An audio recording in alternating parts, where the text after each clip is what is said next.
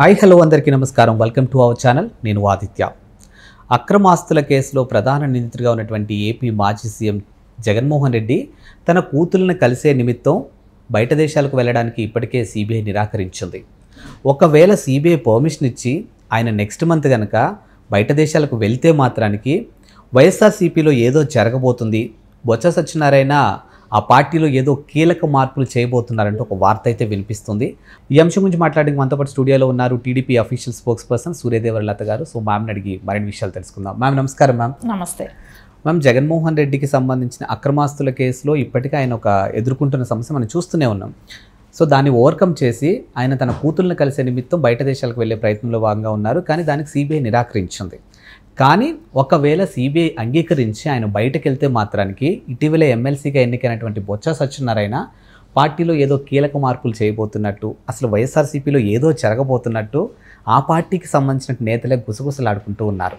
మరి ఈ అంశం గురించి మాట్లాడాల్సి వస్తే ఒక టీడీపీ అఫీషియల్ స్పోక్స్ పర్సన్గా సూర్యదేవర్ లత గారు ఏం చెప్తారు అసలు? మనం ఒకటే ఇక్కడ ఆలోచించాల్సిందే. జగన్మోహన్ రెడ్డికి రాజకీయ అవగాహన లేదనేది అయితే ఆ పార్టీలో ఉన్న వాళ్ళకి కూడా తెలిసిన విషయం. ఎందుకంటే ఐదేళ్ళు అధికారంలో ఇచ్చిన తర్వాత ఆయన ఏ రోజు ప్రజల గురించి పట్టించుకోలేదు. ఎక్కడ ఎమ్మెల్యేలను కూడా కలవల. అంటే ఆ పార్టీలో గెలిచిన ఎమ్మెల్యేలకు కూడా ఆయన దర్శనం దొరకలేదు. అంటే వాళ్ళు కూడా వచ్చి వాళ్ళ బాధలు ఏంటి ఆ నియోజకవర్గం సమస్యలు ఏంటి చెప్పుకునేటానికి కూడా అవకాశం లేకుండా చేశాడు. సరే వాళ్ళకందరికీ కూడా అతనికి అవగాహన లేని ముఖ్యమంత్రి కానివ్వండి పొలిటికల్గా కూడా అంటే ఏదైనా చేస్తే వచ్చిన ఐదేళ్ళలో ఏమైనా చేస్తే కదా ప్రజల్లోకి వెళ్తే ఏదైనా చెప్పుకోవటానికి అది కూడా లేకుండా ఉంది. ఆ సమస్య కూడా ఏదైనా తీసుకొని సమస్యల గురించి ఇష్యూ గురించి ఫైట్ చేసే అర్హత కూడా కోల్పోయాడు అక్కడ.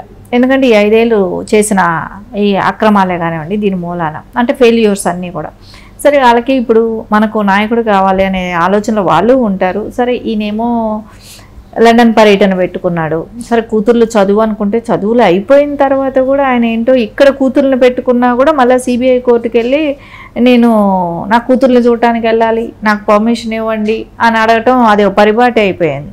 సరే ఇప్పుడు కాదంటారు మళ్ళా జడ్జిమెంట్ ఆయనకే అనుకూలంగా వస్తుంది ప్రతిసారి వెళ్తున్నాడు వస్తున్నాడు. సరే ఈసారి వెళ్తే um, డిఫరెన్స్ ఏంటి? ఇక్కడ ఎమ్మెల్సీ ఎలక్షన్స్ జరుగుతున్నాయి. సో బొచ్చ కూడా అంటే రాజశేఖర్ గారి రెడ్డి గారి టైంలోనే ఆయన సెకండ్ ప్లేస్ కావాలని చేసిన ఆయన. రాజశేఖర్ రెడ్డి గారు లాంటి వాళ్ళతో సో ఇప్పుడు పరిస్థితి ఎలా ఉంటుంది? ఇప్పుడు ఆయన జగన్కి అనుభవం లేదు. సో నేను చూసుకుంటాను నాకు ఇన్ని సంవత్సరాల రాజకీయ అనుభవం ఉంది. సరే నువ్వు వెళ్తే వెళ్ళు నీ పార్టీ నేను చూస్తానని చెప్పి కూడా చెప్తాడు. ఎందుకంటే సజ్జల్ని పక్కన పెట్టడం అయింది. విజయసాయి రెడ్డి ఆయన రాజ్యసభ సభ్యుడయ్యాడు. స్టేట్ గురించి అంత ఇది లేదు. ఇంకోటి ఉన్నా కూడా ఆయన్ని కూడా కొన్ని రోజులుగా పక్కన పెట్టడం జరిగింది. సో అందుకని ఈయన ఒక ఎమ్మెల్సీగా ఉన్నాడు కాబట్టి నేను చూసుకుంటాను అనే ఆలోచన కూడా ఆయనకి ఉంటుంది. సరే ఆయన అనుకుంటామా? మిగతా వాళ్ళు కూడా ఉన్నారు కదా. ఇంకా సీనియర్ లీడర్స్ పెద్దిరెడ్డి లాంటి వాళ్ళు ఇలాంటి వాళ్ళు కూడా ఉన్నారు కదా.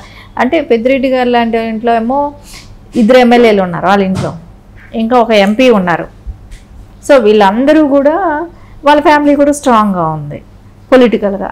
సో గతంలో నుంచి ఉన్నారు కాబట్టి సో వాళ్ళు కబ్జా చేస్తారా? ఎవరు ఈ పార్టీని ఓవర్టేక్ చేసేస్తారో ఏమో మనం వెళ్ళొచ్చేటప్పటికి ఎందుకంటే కొంతమంది ఎమ్మెల్యేలకు ఆల్రెడీ నిరుత్సాహం ఉంది. ఎందుకంటే ఈయన అపోజిషన్గా ఎంతవరకు స్టాండ్ తీసుకోగలడు ఎంతవరకు పనిచేయగలడు అనే ఆలోచన వాళ్ళకు కూడా ఉంది కాబట్టి ఖచ్చితంగా ఇప్పుడైతే జగన్మోహన్ రెడ్డికి లండన్ వెళ్ళేటప్పుడు కొంచెం టెన్షన్ అయితే ఉంటుంది. సో వీళ్ళందరూ ఏ రకంగా క్యాష్ చేసుకుంటారు? అంటే క్యాష్ చేసుకుంటాం అంటే మనీ కాదు.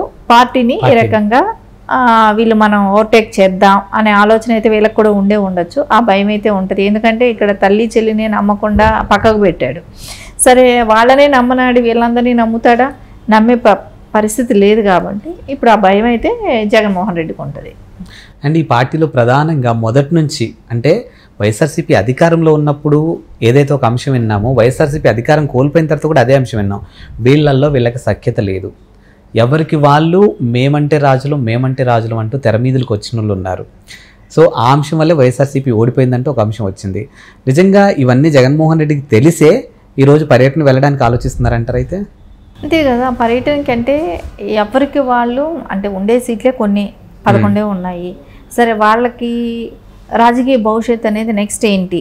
మన పార్టీలో మనం ఇదే పార్టీని నమ్ముకొని ఉంటే జగన్మోహన్ రెడ్డి ఏ రకంగా ప్రజల్లోకి వెళ్తాడు.